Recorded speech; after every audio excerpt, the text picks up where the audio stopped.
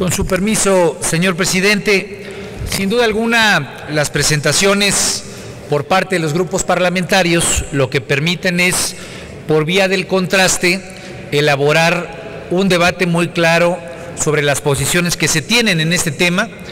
Y escuchando con detenimiento la intervención anterior, pues me parece que nos permite fijar con toda claridad por qué la posición del grupo parlamentario del Partido de la Revolución Democrática es totalmente en contra de este dictamen, no solamente porque consideramos que tiene enormes incongruencias con respecto a la Constitución, sino porque es parte de una serie de artilugios que en el debate nacional hay que clarificar frente a uno de los temas de mayor trascendencia, no solamente presente, sino frente al futuro del país. Se ha dicho aquí que en materia de ingresos hay perfecta claridad y yo quisiera subrayar, porque nos parece que es indispensable tener muy claro en el contexto del Poder Legislativo, la figura de las contraprestaciones, una figura que apareció en la Constitución y que hoy se retoma con toda claridad como uno de los ejes troncales de los ingresos que habrá de tener la Secretaría de Hacienda, pero donde el gran ausente es precisamente el poder legislativo. Hoy, las contraprestaciones, como aparecen puestas en esta ley reglamentaria, no son figuras del derecho público, son figuras del derecho mercantil. Y son figuras en las cuales la Secretaría de Hacienda, de manera unilateral, podrá imponer, sin la participación del Congreso de la Unión, montos y porcentajes que generarán ingresos ingresos que serán canalizados al fondo, pero los cuales es indispensable subrayar, no habrá en ningún momento participación del Poder Legislativo. Y no es menor de lo que estamos hablando si hablamos de la terminación de contraprestaciones que aparece en el artículo quinto, en el bono afirma en el artículo sexto, en las regalías extraordinarias ahí, donde si un yacimiento de pronto tiene recursos extraordinarios en los que se había pensado, que es de lo que habla el artículo 10, o las propias pérdidas fiscales descritas en el artículo 32. En esto no participa, compañeras y compañeros, el Congreso de la Unión es facultad exclusiva, de acuerdo a la ley y al dictamen que aquí se presenta, de la Secretaría de Hacienda. La pregunta que nosotros hacemos es por qué el Congreso de la Unión, por qué el Senado, como una representación plural, en una dinámica clara de lo que tiene que ser el equilibrio de poderes, está renunciando a poder supervisar, a poder participar, a poder identificar cuándo se generan estos recursos y por qué se cae, me ha tocado escuchar en muchas ocasiones a funcionarios de Hacienda, pero ¿por qué los senadores y las senadoras de la República están de acuerdo con decir que sea la Secretaría de la Hacienda la que lleve a cabo solamente este tema? Me ha tocado escuchar lo que dicen los de Hacienda o lo que dice eh, eh, esa posición de argumentación. Es que son tantos los contratos y es tanta la dinámica que hay que sería una monserga tener la participación del Poder Legislativo. Pues señoras y señores, donde se define una democracia moderna, avanzada, es donde sus poderes legislativos, donde sus senados, donde sus cámaras de diputados generan instrumentos para supervisar esa dinámica económica. No hay mayor momento de participación del Estado mexicano que ahí donde el Ejecutivo tiene una contrapartida y un contrapeso en el Poder Legislativo. Entonces, ¿por qué, compañeros y compañeras, frente a esto que nos vienen a presentar como una panacea de un nuevo modelo, estamos renunciando a la participación del Poder Legislativo? Le dejan solamente una dinámica marginal no hay mayor transparencia, compañeros y compañeras, que la que establece la propia democracia en su representación plural. No son las páginas de Internet, no son los elementos de la tecnología en los cuales cuando uno se mete a consultarlos le dan transparencia al proceso político solamente. Es el Congreso de la Unión el que permite, en, contra, en contravisión a lo que pueda tener el Ejecutivo, lo que garantiza ese sano equilibrio, de tal manera que este, estos artículos que les comento son totalmente contrarios a la dinámica democrática y a lo que debiéramos estar defendiendo como poder legislativo. Una segunda cuestión que es preocupante. Se ha dicho aquí que hay una nueva situación. Y oí una frase que decía, ¿para qué seguirle metiendo recursos a una empresa que no tiene viabilidad?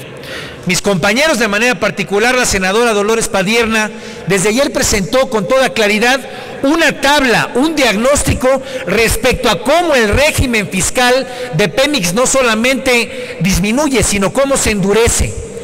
Y aquí lo hemos preguntado en repetidas ocasiones. ¿Por qué se toma una decisión como si fuera una revancha histórica contra petróleos mexicanos en la cual no solamente se mantenga un régimen fiscal duro que presiona su capacidad de reinversión, no solamente se le quita el fondo de inversiones que previamente se tenía, sino no se contestan las preguntas. No se contesta por qué, y aquí tengo la tabla. Me ha tocado escuchar en los corrillos cómo senadores del PRI o del PAN dicen que los senadores del PRD no sabemos ser números. Entonces yo los reto, compañeros y compañeras, a los economistas del PRI que están aquí, que son eh, claros en poner señalamientos y donde la transición, la transición de la cual ayer se habló mucho, pues no nos deja evidencia clara de que esta tabla que está aquí presentada no se vaya a quedar al perpetuo. Claro, quienes le apuestan esa revancha histórica, lo que quieren es darle solidez a esa frase. ¿Para qué seguirle invirtiendo en una empresa que no tiene viabilidad? Ahí está. Fue la participación previa a la mía la que lo dijo. No es un planteamiento mío, es un senador de los que están apoyando este planteamiento. Eh, además de todo, cosas que están dichas y verdades que hay que clarificar. Aquí está nuevamente el régimen de consolidación. Me tocó estar en muchas mesas escuchando a muchos de los expertos representando a las empresas internacionales. Y otra vez aparecía el fantasma de la consolidación como la gran solicitud al Estado mexicano para garantizarle competitividad al régimen fiscal. Compañeros y compañeras, aquí discutimos una reforma fiscal hace apenas nueve meses. El tema de la consolidación fue el gran instrumento para darle vuelta al pago de impuestos y hoy, por lo menos aquí, se los digo, aquí está puesto, el artículo 32, en el último párrafo, para efectos de la pérdida fiscal prevista en el artículo 57 de la Ley de Impuestos sobre la Renta, los contribuyentes que realicen actividades en las regiones de áreas marinas con tirante de agua superior a 500 metros podrán disminuir dicha pérdida ocurrida en un ejercicio de la utilidad fiscal de los 15 ejercicios siguientes hasta agotar. Es la competitividad que ofrece este esquema. Más carga Pemex o un régimen mucho más duro y no solamente la tasa cero, sino otra vez el régimen de consolidación para quienes vengan a salvar al sector petrolero en este país. Y por último, el fondo petrolero. Ese fondo petrolero que sirve en el debate para decir lo positivo de la reforma. Ese fondo petrolero que me ha tocado escuchar en múltiples ocasiones en este debate como la gran panacea, el gran horizonte de un país que deja un sector energético caduco, minimizado, para convertirse en un país moderno como Noruega. Y se nos llena la boca de poner como ejemplo al país de Noruega. No solamente no se dice que las finanzas públicas siguen petrolizadas, y es importante subrayarlo, petrolizadas. Las finanzas públicas siguen petrolizadas. 4.7% será el marco que regule del Producto Interno Bruto para mantener en términos del gasto fiscal. Esto hay que decirlo, porque para eso es para lo que está básicamente priorizado el gasto del fondo petrolero. Para eso lo establece la ley, para garantizar el equilibrio de las finanzas públicas. Y si algo queda, si algo queda en ese régimen de transición, que ayer me tocó escuchar en varias ocasiones, pues yo le recomendaría a compañeros y compañeras, aquellos que tanto citan a otros países, pues que mínimamente buscáramos que nuestro esquema tuviera nuevamente los controles parlamentarios. Está basado en un modelo en el que se le da al Banco de México capacidades muy amplias. Yo sé que hay mucha gente que aquí le apuesta mucho al Banco de México.